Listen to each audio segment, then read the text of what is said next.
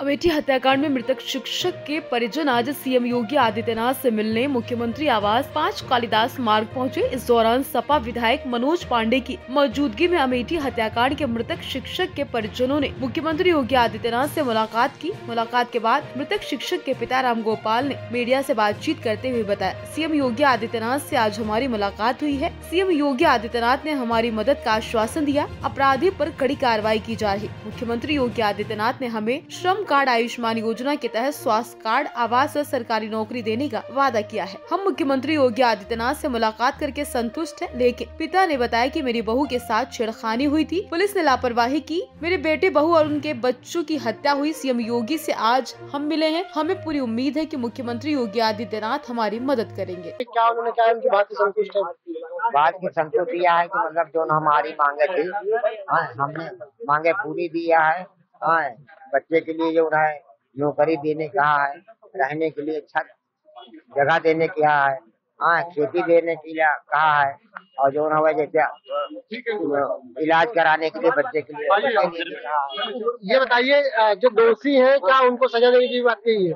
हाँ, जो दोषी है क्या सजा दोषी सजा देने के लिए साहब खुले बोले कि जो हम उनको पकड़वाते एक एक के जो न पकड़वा लेंगे जो अब एक जने तो मुलजिम पकड़ गया है। अब एक ही थोड़ो और तो होंगे। तो मतलब पूरे मुख्यमंत्री से बात हुई पूरी तरीके से संतुष्ट है। हाँ हाँ। वहीं समाजवादी पार्टी के विधायक मनोज पांडे पीड़ित परिजनों के साथ सीएम योगी से मुलाकात करके बाहर निकले तो उन्होंने मीडिया से बातचीत के दौरान बताया कि मुख्यमंत्री योगी आदित्यनाथ से पीड़ित परिवार उनकी मौजूदगी में मुलाकात करने पहुँचा।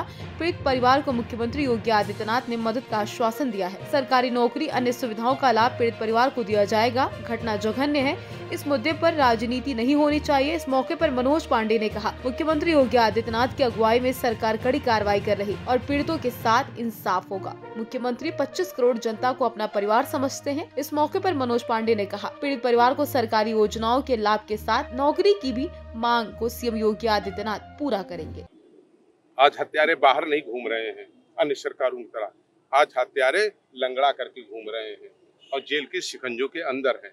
वहीं इस पीड़ित परिवार का सहारा बनकर के माननीय मुख्यमंत्री जी ने न केवल मृतक आश्रित में एक नौकरी परिवार को दिए जाने का, बल्कि इनको मुख्यमंत्री आवास दिए जाने का आज ही जिलाधिकारी को 24 घंटे के अंदर इनको ज़मीन का आवंटन किए जाने का इन्हें आर्थिक सहायता दिए जाने का और पूरे परिवार का आयुष्मान कार्ड बनवाए जाने जैसी महत्वपूर्ण चीज़ें माननीय मुख्यमंत्री जी ने इनको कहा है आश्वस्त किया है और बहुत शीघ्र इनको ये मिल भी जाएगी। परिवार के अनुसार ये भी कह रहे हैं कि रायबरेली पुलिस ने शुरुआत में थोड़ी सी लापरवाही की थी जो मुकदमा दर्ज माननीय मुख्यमंत्री जी ने उसके लिए अभी निर्देश दे दिया बड़े उच्च अधिकारी को और उस पर भी जो है जाँच के उपरांत कार्रवाई होगी।